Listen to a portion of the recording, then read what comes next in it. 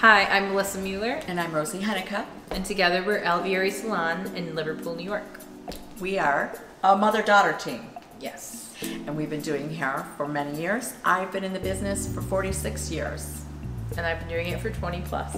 I've done a little bit of education, some pla- uh, platform work, and uh, done music videos, and also um, some theater work. We love to compete together.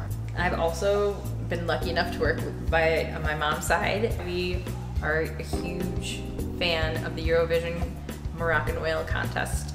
We'd love to be a part of the team. In my history, I've done magazine work, theater work, uh, commercial work, and also movies. I think that we'd be a great asset to your team. And we love the ability to be able to create and have fun. And we also would love to be in Europe. Absolutely.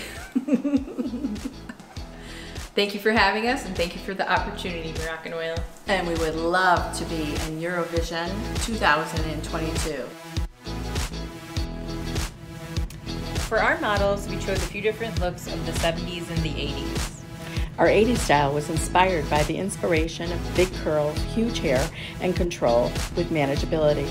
To create the 80s look, I first prepped her hair with Moroccan Oil Blonde Perfect shampoo and conditioner, followed with Moroccan Oil hydrating mask. After towel blotting, I sprayed her hair with Moroccan Oil Perfect and Prevent. I then mixed a generous cocktail of Moroccan Oil Hydrating Styling Cream, Moroccan Oil Intense Curl Cream, and Moroccan Oil Original Treatment. I then finger coiled all her curls and placed her under a hot dryer. Before finishing her drying time with a diffuser, I sprayed Moroccan Oil Perfect. Her curls were touched up with a small curling iron and finished with Moroccan Oil Split End Mender and Moroccan Oil Glimmer Spray. For our 70s look, it's inspired by glam rock and texture. When I think of the 70s, that's natural big hair. And for this model, I incorporated this look by taking my model to the sink, prepping her with Moroccan Oil hydrating shampoo and conditioner.